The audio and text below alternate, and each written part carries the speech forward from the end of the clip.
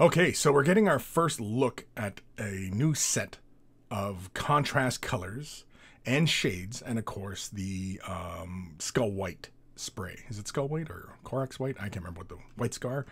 Anywho, new shade washes: Mortarion Grime, Blood, uh, Berserker Bloodshade, Kroak Green, Poxwalker, Soulblight Grey, and Targor Rage Shade. Rage Shade and Tyran Blue. Now, these shade washes, they describe them as being, um, you know, better to be sit, uh, suited for obviously laying on top of a contrast so that you can deepen color or even create uh, filters on top and even change the values. For example, like if you went with yellow uh, contrast and then came in with you know uh, kroak green just to add a little bit of green into the shadows and such. I imagine this is the kind of thing you can do with these colors. Now i'm not sure if these paints are being added to the contrast line if these are replacing any colors. I'm not 100% sure. I think it's very interesting that we get three yellows iron jawz bad moon yellow and imperial fist. And yeah they are of similar hue whereas Imperial Fist looks like it has a bit more um, orange in it, whereas Bad Moon Yellow seems to be just pure brightness. Iron Jawz Yellow uh, looks like it might have a bit more brown to it. And so, you know, is this different from Iyanden Yellow currently, or even uh, what is the other yellow? I can't remember the name of the other yellow now. For the for the life of me, I can't remember. But either way, um, a lot of these colors they look deeper. They look a little bit um, more uh, what's the word I'm looking for? Like you can see how they puddle up and they get darker and then stay bright along the edges. Some of them also feel a bit more like, uh, for example, Tesseract Glow, where that one almost has a fluorescent quality. And I think that's where they went with this formulation in these uh, first few that they showcase here this yellow green, this teal color, as well as this uh, turquoise color, this uh, Kroxigor scales and such. The yellow is really, really impressive. Uh, from the painted models, though, they look more flat. They don't have a lot of contrast in them. So I think that's really where a lot of their brightness comes from is the fact that they don't go very deep uh, into the recesses. You can see it's actually fairly uniform, especially on that purple model. There's not a lot of highs and lows. It's actually fairly uniform which is kind of interesting. Um, so I think that's how they're maintaining a lot of the brightness. And of course, they're also uh, advertising a new uh, spray paint, a new primer uh, for the uh, what is it, the White Scar? Or, yeah, it's called White Scar. And anybody who's played with uh, Grey Seer or um, Wraithbone no, whenever you use it, it smells like the White Scar paint. It doesn't smell like black. Black has a different smell to it, whereas uh, White Scar does have a very familiar smell. And in fact, I suspect it's a recipe they've used for many, many years.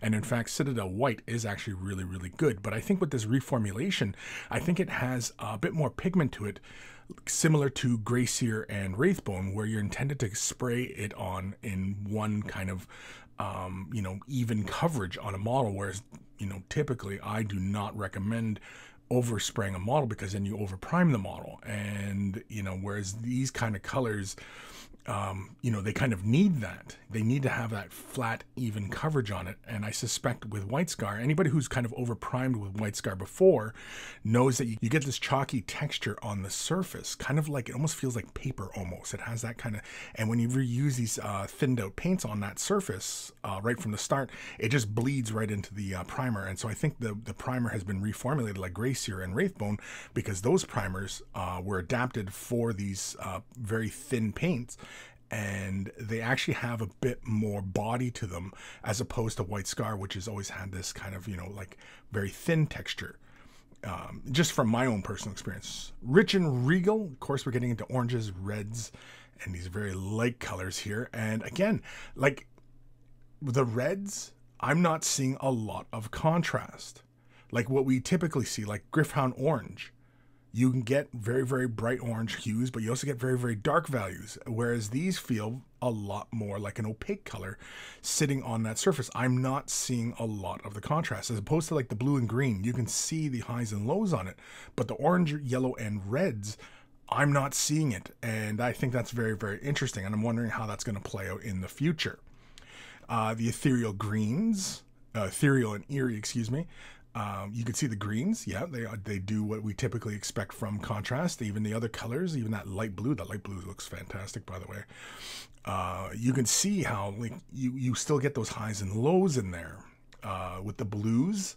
Again, very very heavy pigment, and here we get to look at that yellow. What is that? That's that uh, iron iron jawz yellow. Yeah, and you can see how it, it doesn't have that same level of contrast. In fact, these feel a bit more like they are thinner iterations, or I guess there's less medium in them, or whatever it is, where they get that really deep color and then also maintain the brighter edges that we normally get with contrast paints. And I think that's kind of interesting. Now, again, I don't know if these are replacing colors or if the system is intended to work alongside these new shade washes. And apparently the new these new shade washes are replacing the older ones, Agrax, Nuln Oil, stuff like that. And well, maybe not Nuln, Nuln Oil. I can't remember which ones it was now, but it's in the article.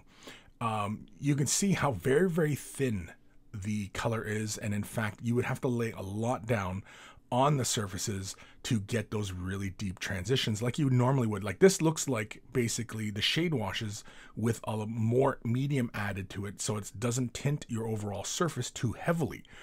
And basically it saves you from having to uh, thin your shade washes down for slight effects. Now for everybody out there uh, not sure exactly what I'm talking about, as you develop as a painter, you will uh, thin your colors down more so that you can build up tighter grade uh, gradients of transition on a surface. And these feel like that's what they're intended for. They're intended so, for example, like that blue, you could slap that on, you know, well, probably like one of these lighter blues to intensify shadow, right? You could use like that. What is that? Pilar glacier or whatever the heck it's called and then use this blue shade wash to deepen up the color in places that you want it to. You can be very deliberate, or you can apply it over the entirety of the model and still have your um, really highs and lows. And in fact, could you start off with this first and then put a contrast on top of it and get the similar effect, or does it require you to use the contrast and then use the shade wash? As the coming coming days go, you know, we're going to find all this out, of course. And with White Scar getting a reformulation, and they give us a little picture of what it looks like before versus what it looks like now. Obviously, it is a very, very bright, and of course, I mean, it might also be the photography, um, you know, giving us this impression that it's just so bold and bright. But I suspect it probably is very, very bright, and of course, uh, when you're using uh, spray primers like Grey Seer or Wraithbone, yeah, the, you tend to spray pretty heavily on a model versus previous uh, White Scar usage. I really did not use it that heavily. Um, even if I had like little blank spots in the re- recesses and stuff like that, uh, basically it was the binder in the paint that provided that surface for the paint to get a hold of.